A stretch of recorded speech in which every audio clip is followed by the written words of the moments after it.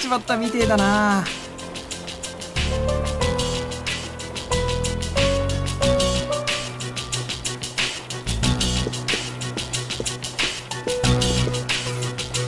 台風上陸したってさっきニュースで例年にないくらい大型でしかも速度が遅いから居座りそうだって。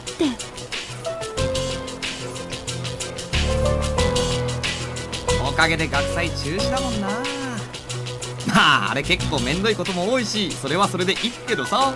でも結局台風が来んじゃ外で遊びづらい。でお前はこの連休どうすんの？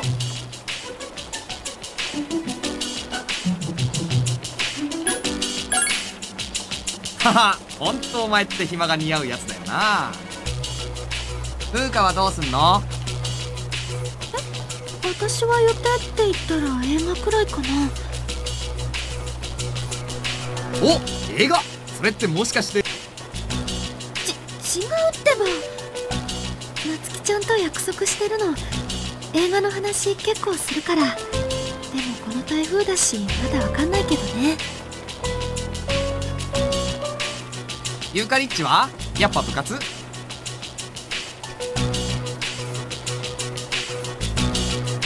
どうだろう弓道場ってもろ外だから連絡来るまでひとまず部活は無理かも。俺もだ。まったく台風でメニューが狂いそうだ。桐城先輩はどうするん？さあな。ところでより君こそ。え？俺っすか？俺の予定聞きたいっすか？千鳥さんのところへ行きとみました精神的にはもう安定したということですが解放。もう愛ちゃんったら鋭いないやぶっちゃけそうなんす。千鳥俺に来てほしいって言ってるんすよ。やっべ言っちゃった。恥ずかしい。あ嵐の中でも何でもとりあえず言っといた方がいいかななんて。どうしたんだ？なんでじなんで？えっとあそういえば浜田君はこの連休は？僕は別にこれといって用事もないですね。んだよ寂しい小学生だなあでもすぐそこの神社には行くと思いますけど。神社ってお前どんなじじいしゅいつもはそこでお参りしてるんです。願掛けって言うんですかね。じゃあ僕部屋に戻ります。宿題結構出ちゃったし。おうわかんないとこあったら聞けよ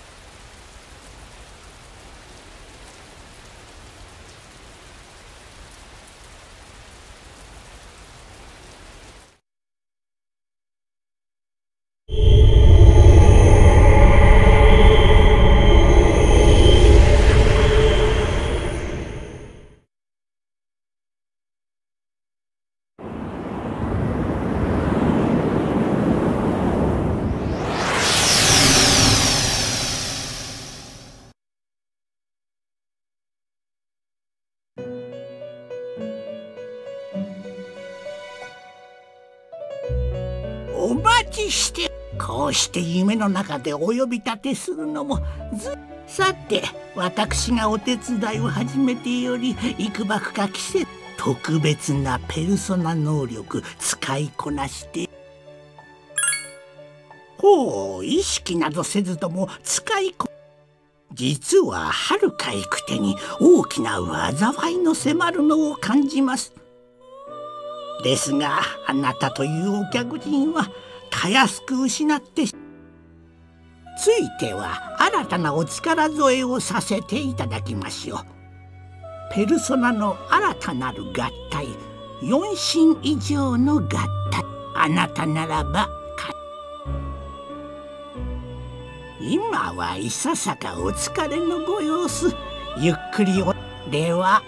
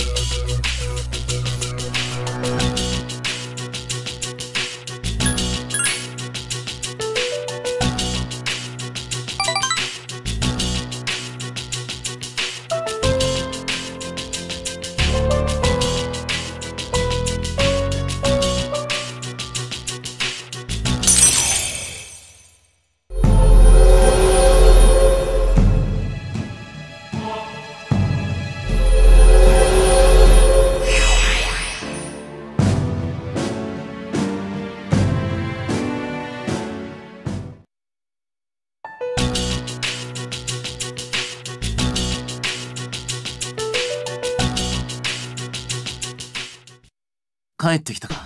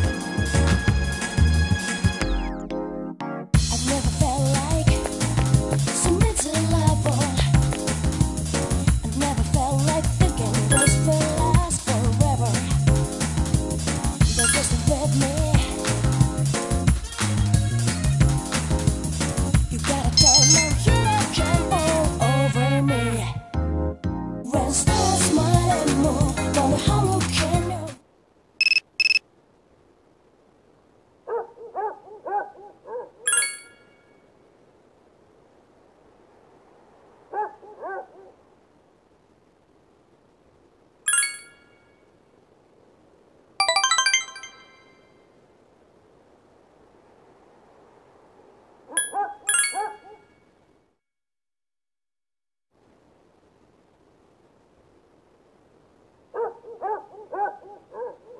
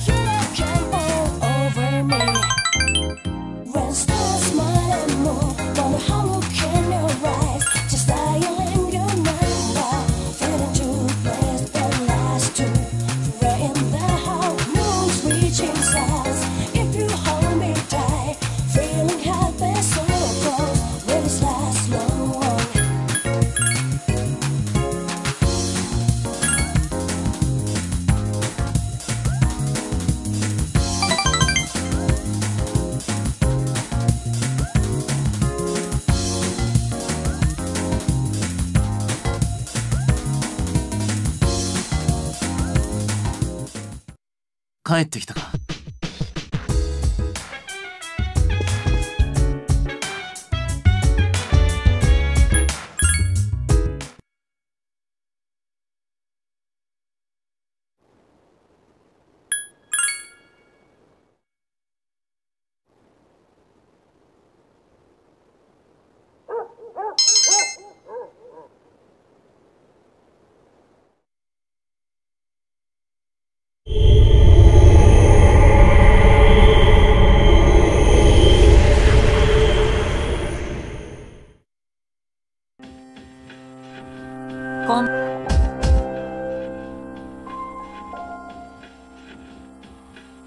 わなくても分かってるかな。あと1週間で満月だよ。今回も大丈夫だといいだけど未来というのは何だから。いつも君を見てるよ。また会おうよ「「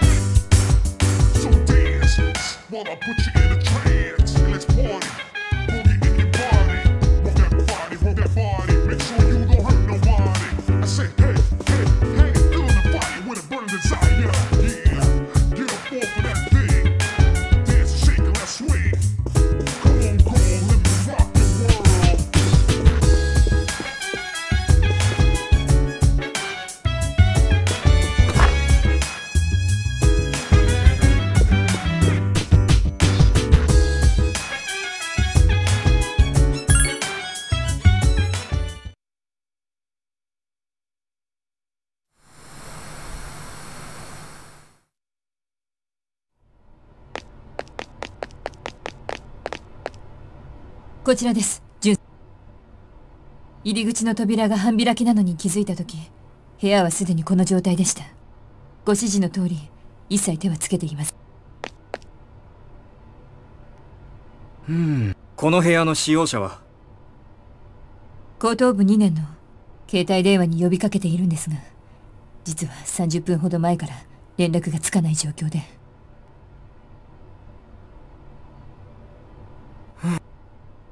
うかつでした。亮は一度襲われたことがあるのに。自己責任とはいえもしか。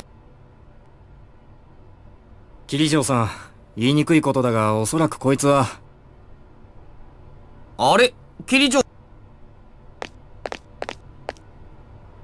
て黒沢さん？えー、ちょっと何事？今までどうしてたんだ？えあいやエアコン壊れて暑かったんで漫画喫茶行ったんすけど寝こけちまって。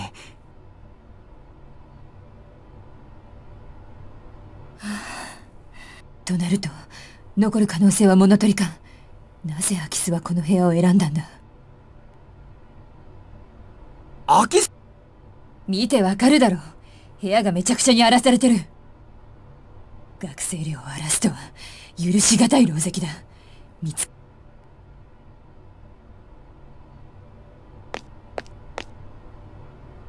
ならこいつを処刑するんだな。どうだいオリこの部屋は荒らされてるか？えー、いやなんつうかこれが私の部屋のありのまま。いや暮らせないだろこれじゃ。そそれにそれはどうせ知らない奴は来ないし出てる間風通しよくしようかなって。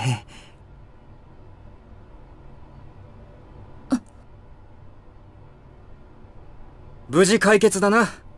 ご令嬢仕事に戻っていいか？そのす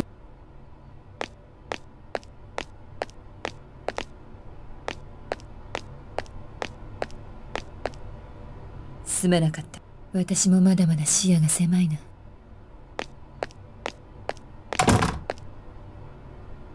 せめて叱ってよ！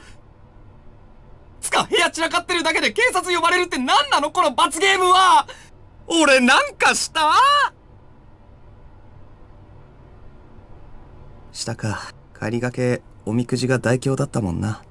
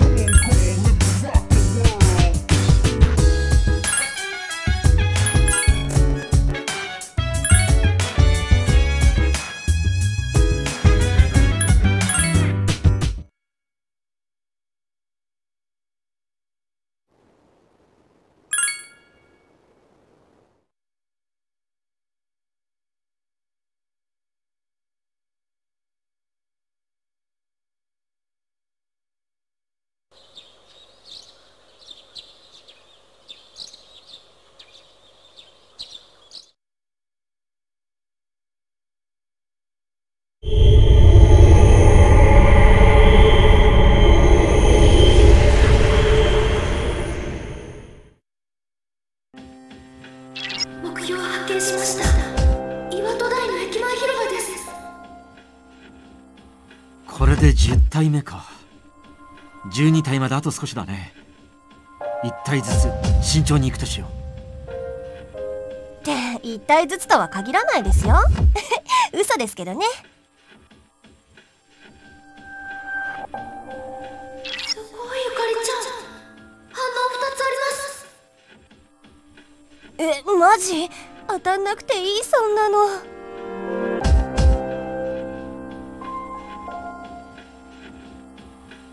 シンジはどうした？新垣さんでしたら後から合流理由は聞いてませんけど。後から？相変わらず勝手なやつだな。いいんじゃないっすか？後から来るんだし。まあね。この前の順平も集合に来なああれは仕方ないだろ？もう心配ねえって言ってんの？あれ天田くんも来てないし。ほら順平呼んできて。この前の罰ねこれ。罰？うわマジうぜえ。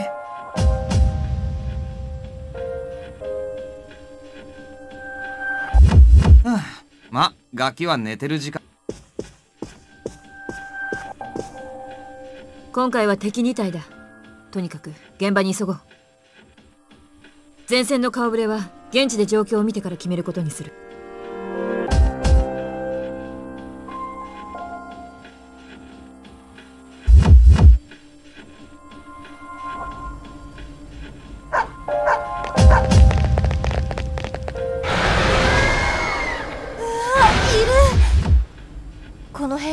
学校行くのに使うし暴れられるとマジ困なんだか私たちを待ってるみたい。ところで天田はどああなんか部屋にいなかったんすよ。シンジのやつ遅いな。あの急いだ方がいいと思います。もうすぐ動き出しそう。よし突入メンバーが決まったらすぐに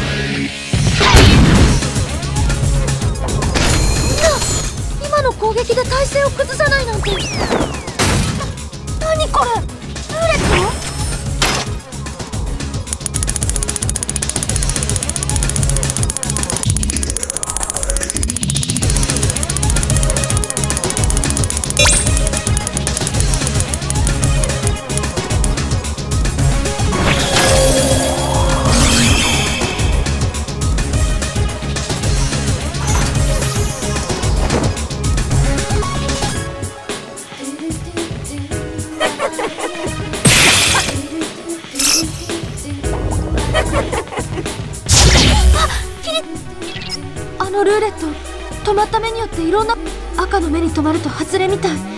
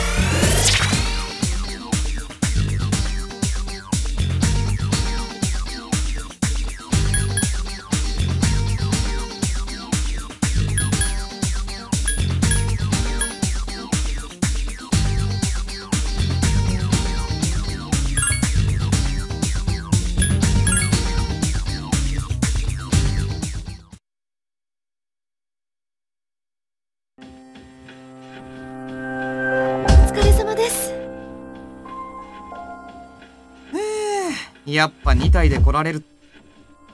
今回はストレガを名乗る2名の妨害はなかったでありますね。ナビ役を抑えてるからね。先回り。でも無事に終わってよかったよね。結局新垣先輩間に合わなかった。理事長も喜んでましたよ。問題ないので先に。山岸二人の居場所は？すみませんまだはっきりとは。ひとまずは寮に戻ろう。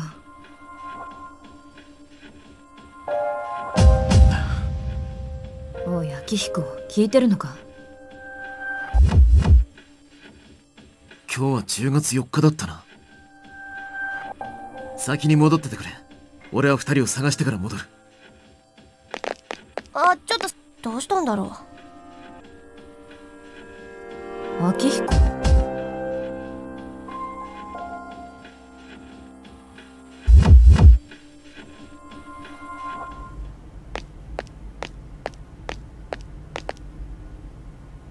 約束通り来て。なぜ呼んだか分かりますか？作戦を放ってまで来てるわけだから。分かってる。ちょうど2年前の今日10月4あの日。僕の母さんはここで。死因は交通事故ってなってるけど僕は見てた。お前が殺したんだ！いいことなんて一個もなかった。生きて周りだったそういう扱いさ。どこに行っても変わいる意味がないんだ。死んじゃおうって思った時もあるけど。このまま母さんに会うなんてできない。だから決めたんだ。お前を見つけるまで生きていようって。あの日のこと思い出したくもないって言ってだから今日が満月って分かった時。お前を呼ぼうってき今日は母さんがついてる。自分のしたことを思い出させてやる。僕がお前を殺してやる！わかった。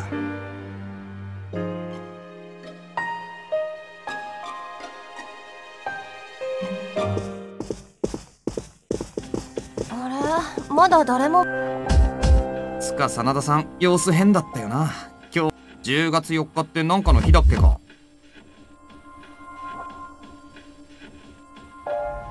10月4日しまった。そうか。作戦に気を取られすぎて思い至らなかった。今日は天田の母親の命日だ。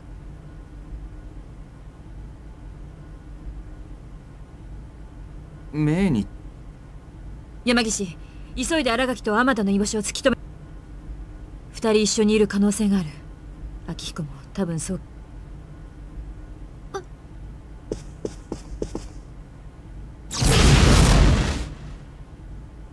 あのどういうことですか？天田の母親が命を落としたのは公に本当は過去の私たちが原因なんだ。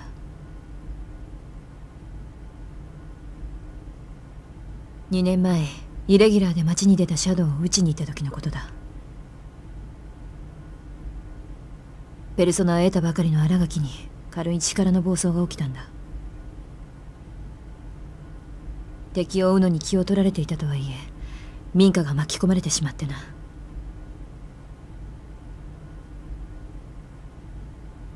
運悪く一人だけ犠牲者が出てしまった。それが天田の母。そんな。本当なんすか？じゃあ天田君にとって新垣先輩は？天田は自ら志願して仲間に加わった。しかし今にして思えば。見つかりました。二人一緒です。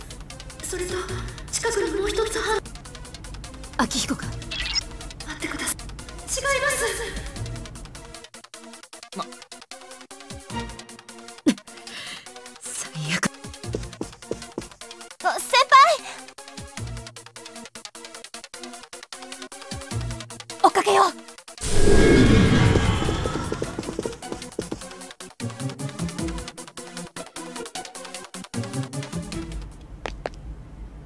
やれよ。抵抗はしねえ。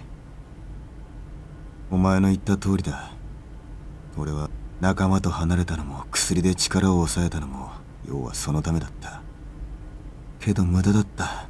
体が忘れねえ。気がつけばここへ来ちまう。見たくもねえ場所なのにな。俺のやったことだ。報いは受けるさ。だが一つだけ忠告がある。忠告？こんな俺の命でも奪えばお前は俺と同じ重みを背負うことになる。そいつだけは覚悟してくれ。なんだよそれ。命乞いってこと？今は憎しみしかなくてもいつか必ず背負っちまう。ふざけるな！そんなの背負うもんか！まったくその通りですよそんなもの背負うはずがない。必要も彼の行いは復讐なのです。殺されたのですから殺してもいいはずでしょてめえは。仲間が一人欠けてしまったのでね。先回りがしづらくなりました。しかしこのまま放置するわけにもいきません。恐れる必要はありません。これは通過点に過ぎない。あなた方は救われるのです。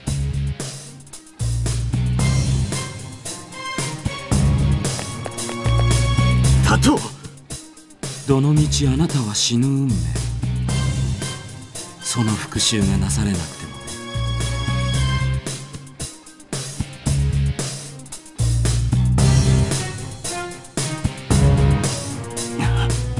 ペルソナの抑制に薬を使い出してもう随分と経つはずですあなたはもう長くない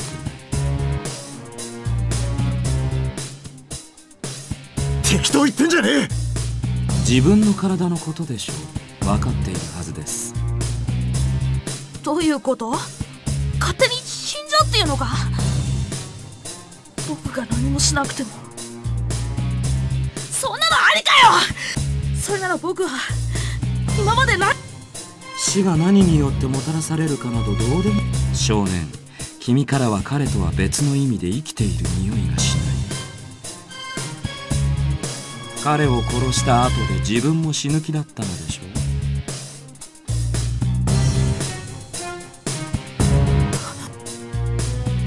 タイミングが少し前後するだけのことです。どのみち二人とも死ぬのですか？私が今確実に息の根を止めてあげましょう。ふざけるな！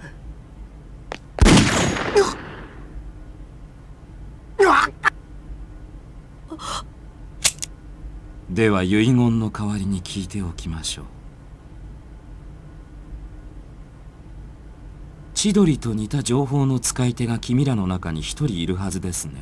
あなた方の方が情報が早くてねシャドウを守ることができないのです。教えてください。誰なのか。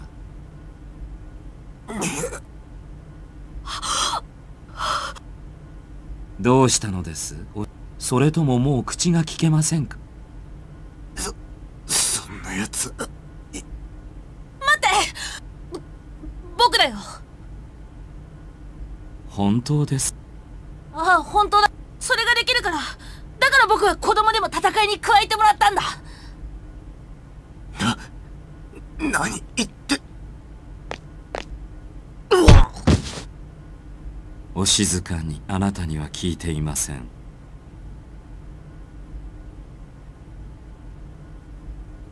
どうだっていいさ。僕の復讐はもう終わったんだ。もうここにいる理由だなるほど。君は十分に生きたというわけですね。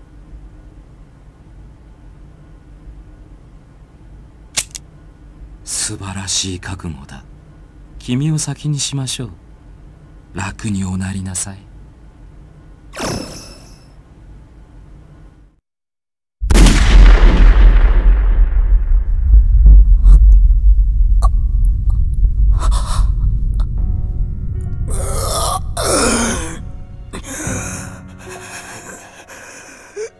どうしたというのです？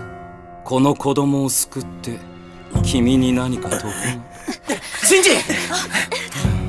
興ざめなこと。をシンジ！新垣さん！先なんて顔だ。せっかく望みが叶うってのによ。先輩憎しみをすぐに捨てなくていい力にすりゃいい。お前はまだガキなんだからやることいっぱいあんだろ。だからこれからはてめえのために生きろ。そんな僕は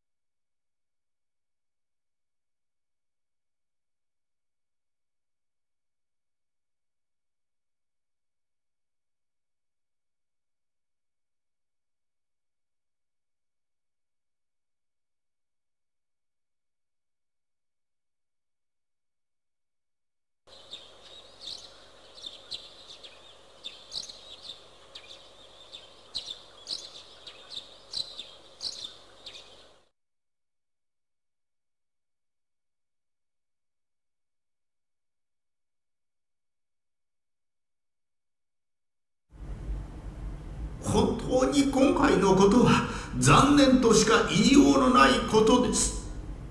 彼には彼なりの思い描いた将来がそんな彼を目の届かぬところへ追いやったのはひとえに我々教職者の不徳でもあります。我々はそんな彼の力になれぬまま暴力事件などという不憫な形で許せ許してくれ。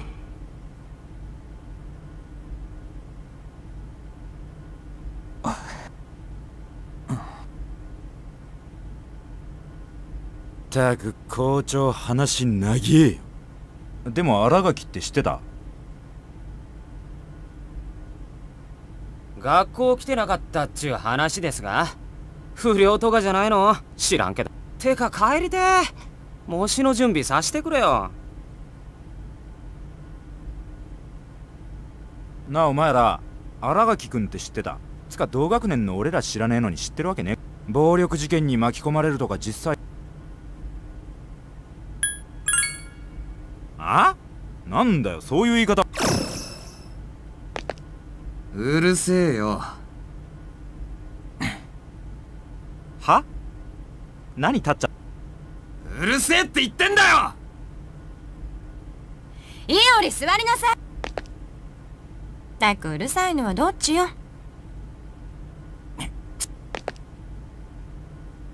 いいじゃん順平。ほっときなよねえ今日真田先輩って見た？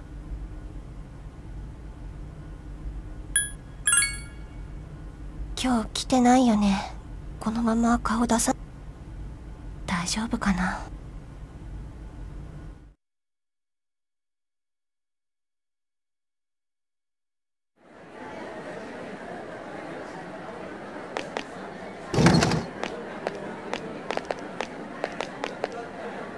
ちょっと。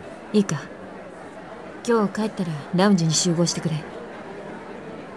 要件はわかるな？まあ。急いで考えをまとめなくてもいい。正直私も迷ってるしな。じゃあ伝えた。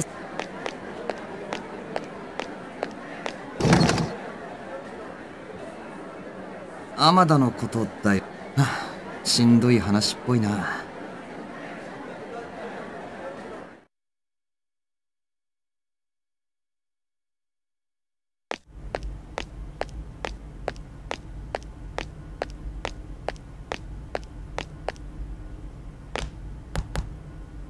よ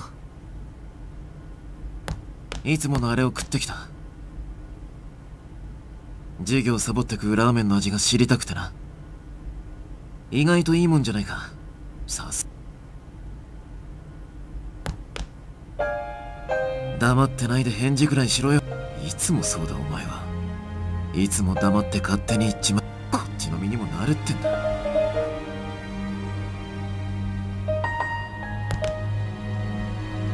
逆だと言いたいのか。そうだな。力だ理屈だって。見気を失ってから。俺はただ力だけを求めてきた。力さえあればどんなものでも守れると思ってた。だがどうだ？お前まで先に行っちまった。必死な俺をわ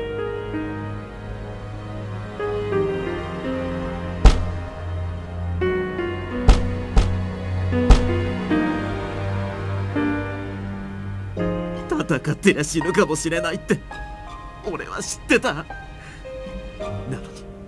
俺は戦うことに夢中で何も見えてなかった。いくら格好つけて走ってみたって結局このざまだ。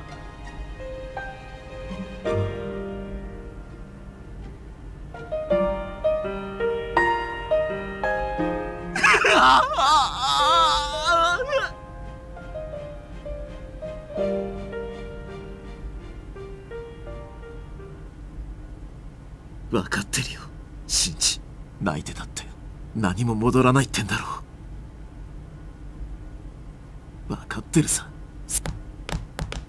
どうせ俺は俺であることから逃げいい加減うんざりしてんだ。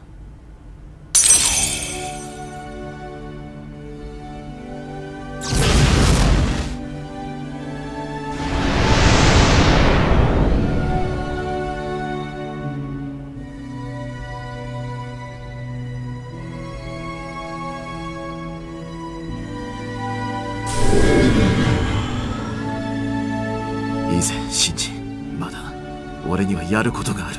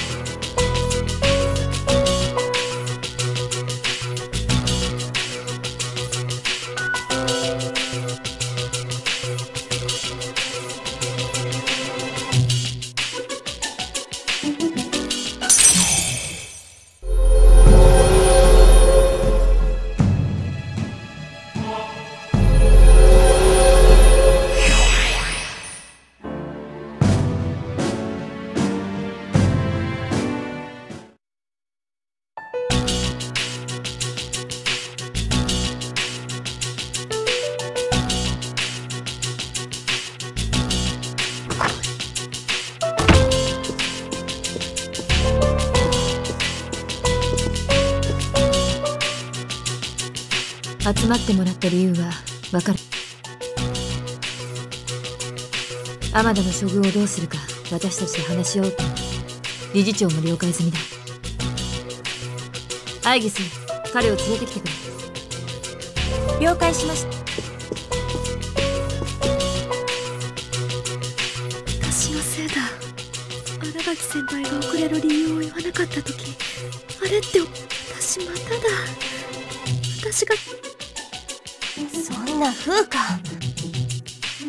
せいじゃない。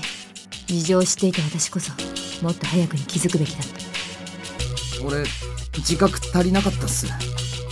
遊びじゃねえって分かってたけど。過ぎたことを言ってどうする？シンジは最後にこれでいいと言った。全く大したやつだ。死ぬって時に前だけを見てた。だから俺も前しか見ないこれでいいか。先輩。報告します。天田さんが部屋にいないであります。嘘！窓にこじ開けたような跡が。浜田君待って風花。心当たりあるの？それはないけど。でもほっとけないでしょ？無茶よ。闇雲に探す。だって私たちが探さなきゃ。浜田君居場所がないんだよ。私そういうの分かるから。風花ゆかりちゃんだってもっと分かってあげるべきじゃないの？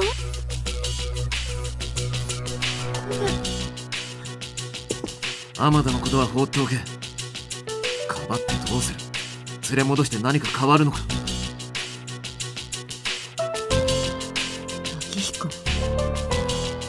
あいつのけじめだ。どう生きるかは自分で決めるしかない。自分で決めるしかない。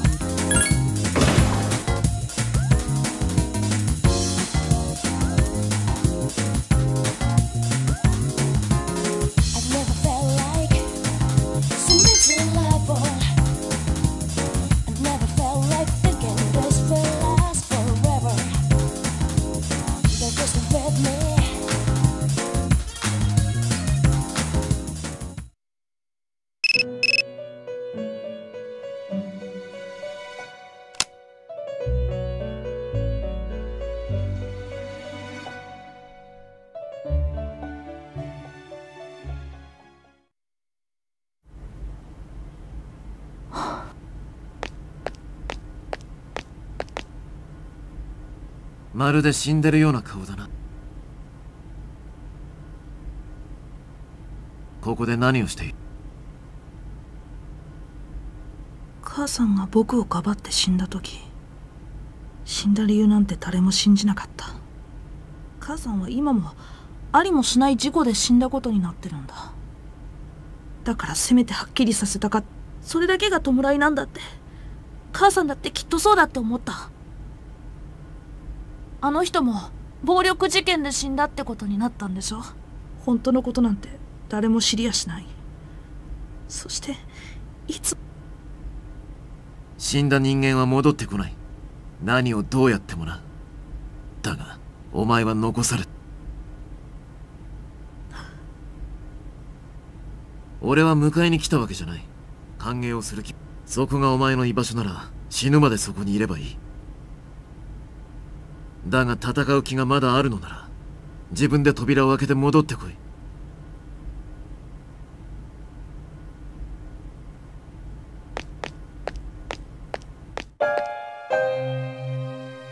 分かってる。そうさ。本当は分かってたんだ。誰かを憎んでれば立っていられた。僕は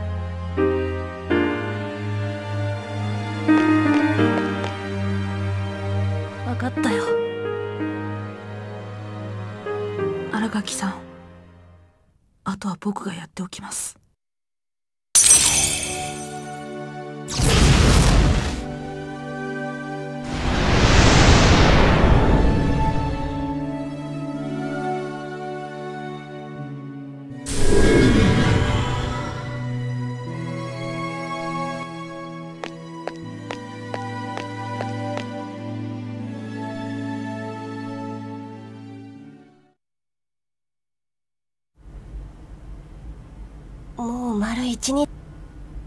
そうだな。つか真田さんは？放っておけって言われたけどそろそろ探しに行った方が。君はどう思う？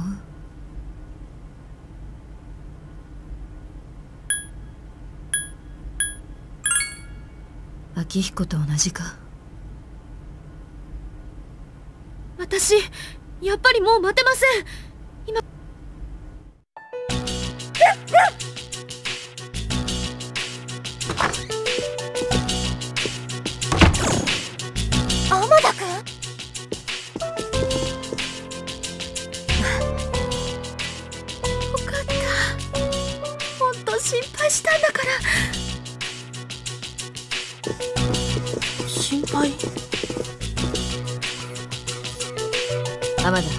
戦えるのか？はい。もう勝手なことはしません。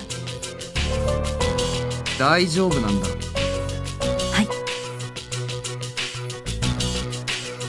大丈夫。浜田君は嘘を言ってない。たく心配させんなよ。分かった。理事長には私から休んでくれ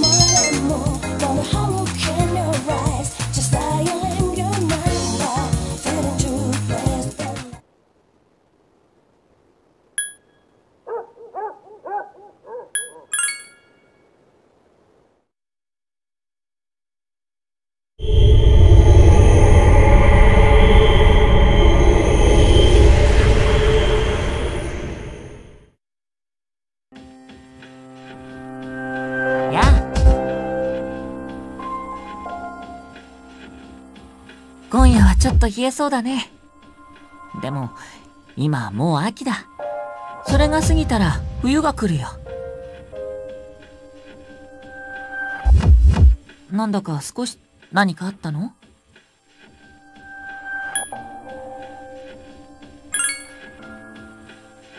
そうだったんだ。この世界じゃ毎日たくさんの今まではそんなことは風や水の流れと同じものだった。でも今はちょっと僕にも友達ができたからね。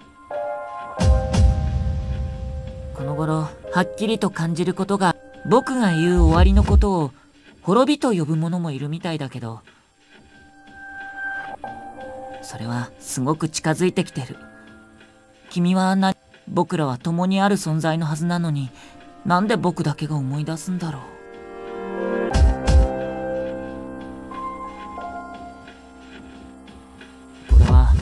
とてもつ僕はもしかすると。